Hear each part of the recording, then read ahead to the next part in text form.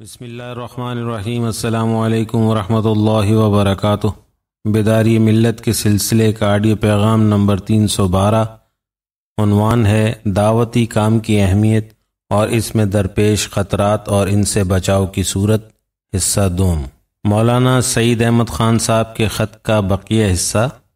یہاں تک کہ وہ اہل علم، اہل ذکر اور دین کے دوسرے کام کرنے والوں سے متنفر کر دیتا ہے۔ اور اگر اس گھاٹی سے بھی اللہ کی راہ میں چلنے والا پار ہو گیا، تو پھر اپنی شخصیت کو بڑا سمجھنے کا جذبہ ڈالتا ہے اور وہ اپنے کو خواص میں شمار کرنے لگتا ہے۔ اور یہ سمجھتا ہے کہ میں دعوت میں پرانا ہو گیا ہوں اور اہل الرائے میں سے بن گیا۔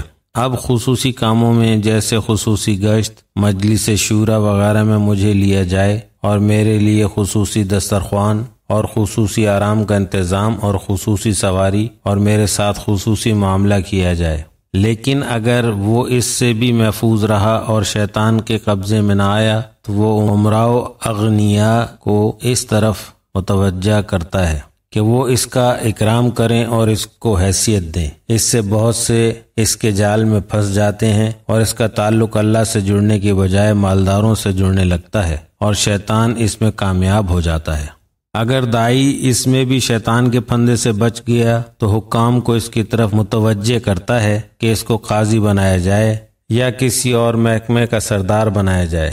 مجلس سے شورا کا ممبر بنایا جائے وغیرہ وغیرہ۔ اور اگر کوئی اس منزل میں بھی اس سے بچ گیا تو اللہ تعالیٰ اس کے ذریعے ہدایت کا کام لیتے ہیں۔